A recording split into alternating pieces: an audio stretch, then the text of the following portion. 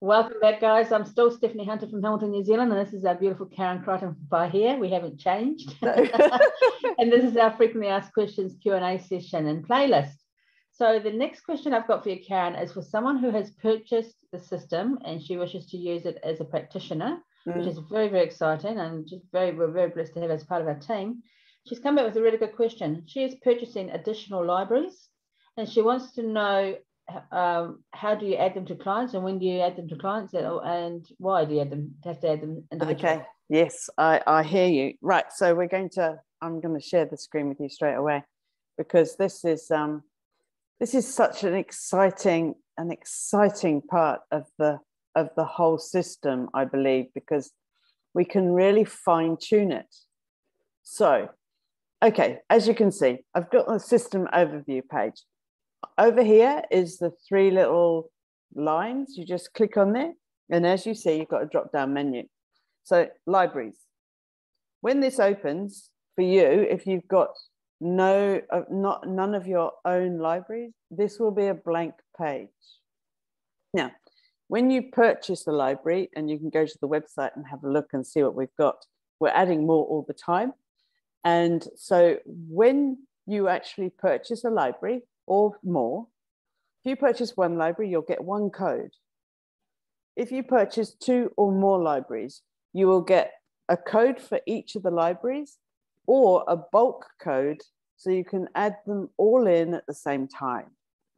Mm-hmm. And all you do is you click on import libraries just there, and you will get a, ki- a code, and you just do in there. Now, if you've got a single library, you click OK.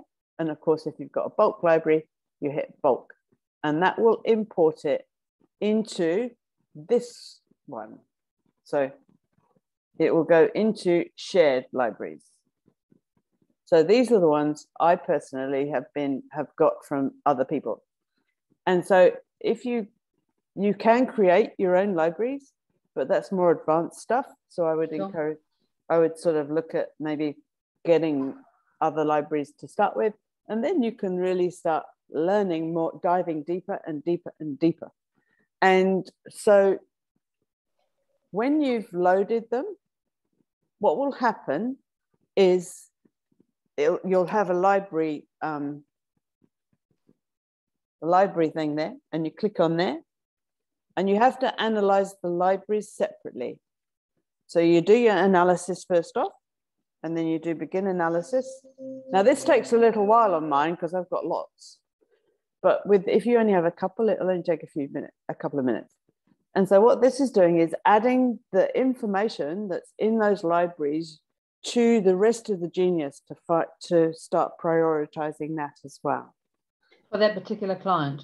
For that particular client. Now what you do is when you update your um, your system. So when you log out, put your um, email address and your um, your um, oh, mm, password. Password. That's the one. Sorry, my brain just went. It was ahead of itself. Then what you do is you go out again and you go back up into this little thing. And because I updated mine a little while ago, it won't do it but a pop-up sign will say, do you want to allocate this, your libraries to all clients? And you just hit yes. Correct. If you don't, of course, you don't have to. So you can pick and choose which libraries you want to, to share with other people. So for example, then you hit add to client and then you can add which, so you can really fine tune this for the way you work. So just a question for you, Karen, because it's, it's formulated in my head. You working on an Apple, yeah. I work on a, a Android, slightly yeah. different systems. Mm. When you send me a new library to add to my libraries, mm. do I need to? I go in and I added the library because I've, I've uploaded it using that key code you're talking about from the email. I yeah. go into the, my library on a, a particular client, usually me because I'm treating myself every day. Uh, go in and I add to the library to the um, the new library to the library bank, do I need to do that now that's in my libraries? Do I need to do that for each individual client or it'll automatically update? So when that when I'm treating a client and I go into their library their, their library um, click on point, mm. are all the new libraries automatically added to their libraries? If you choose to do so. So, for example, when you update, when you've yeah. updated, you can choose whether you want them all or some. Okay, cool. So, as an example, if um, I, this particular client, I wanted to just add, say, um, quantum essences, and I can just click on that and add. Sure. But I'm not going to. So, um, because that because I, I add everyone into my system. I add them all to, sure. when I it makes life simpler. But the thing about the libraries is the benefits of that again is that you can fine tune how you want to how you want to use the genius and that's what's so effective that's why it's so exciting really because you can beautiful have as little or as much as you like excellent i think that answers the question beautifully thank Good. you very much Excellent. pleasure. So, guys, once again, please keep rolling your questions in. We, I learned, as you just learned there, that I learned something just then. Karen works on a different system to I. So sometimes we find that the Android has a different um, iOS and information to the Apple. So we will get crossover information as well. And it's good that we have each of us working on different systems because mm. we cover all of our clients, which is fantastic. Any more questions, please send them in because I learn as you learn.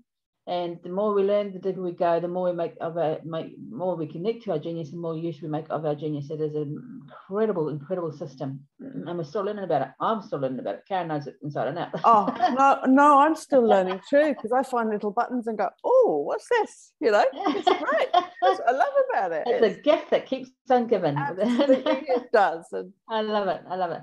Wonderful. Thank you, guys. We'll awesome. see you on the next question. Take Bye. care. Bye bye.